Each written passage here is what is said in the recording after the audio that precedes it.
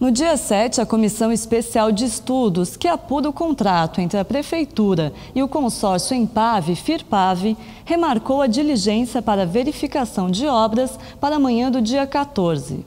Já tínhamos marcado uma reunião para essa segunda-feira é, na Otávio Braga de Mesquita, numa, em algumas ruas de bom sucesso, ruas do Tabuão. E aí houve a paralisação dos funcionários públicos, servidores públicos municipais na segunda e na terça. Né? Então hoje com, é, é, foi, já estava marcada a nossa reunião da, da, da, Comissão de Especial de Estudos sobre o contrato da FIRPAV e EMPAV. Então ficou inviável a gente discutir outro assunto a não ser remarcar novamente a vistoria. O contrato prevê a pavimentação de 39 vias de Guarulhos, no valor de 54 milhões de reais.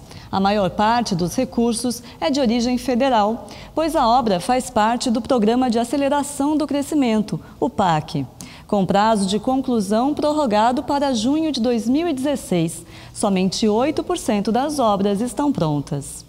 Nós vamos constatar que nós já, eh, já vimos, né? eu passo por lá todos os dias, mas a comissão tem que ir a campo.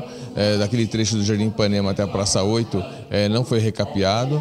Tem três semáforos desligados ali na região do Monte Carmelo, Praça Comercial Esperança, a Verejão do Ferro, a Praça do Monte Carmelo, né? que a gente tem que verificar o porquê que está acontecendo. Algumas ruas do Tabuão não foram asfaltadas, uma foi feita uma parte e não foi terminada, que é a Caranguejo no Santa Edviges, é, e várias outras ruas, como a, a própria Martim Júnior, que é um grande pedido da população, e nós conseguimos para poder colocar nesse contrato e a prefeitura não está fazendo o asfalto, sendo que o dinheiro já está na conta do banco, que veio do governo federal. Então é um absurdo, então nós vamos a campo para poder realmente sentir e ver o que está acontecendo né, nessas ruas, porque que não foram feitos. Na realidade, o próximo passo é chamar, depois de, verificado é, que realmente as ruas não foram asfaltadas, chamar o secretário aqui ou a pessoa competente para nos informar que não foi, ou a própria empresa, né?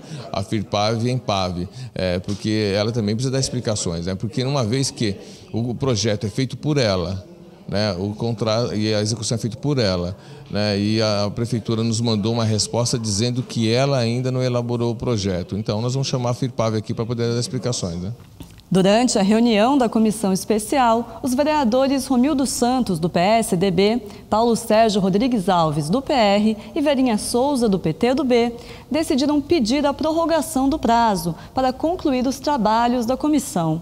Ela vence dia 23 de outubro agora, né, de acordo com a lei orgânica e o regimento interno da casa, nós podemos é, é, prorrogar por mais 60 dias. Né? Tenho certeza que dentro de, menos de 60 dias de prorrogação, nós estamos com quase 70 70, então são 80 dias aí pela frente, quase uns, 60, uns 75 dias pela frente, nós vamos chegar a uma conclusão final para fazer um bom relatório e dar explicação para todos os moradores de Guarulhos e, se for o caso, levar para o Ministério Público. Né?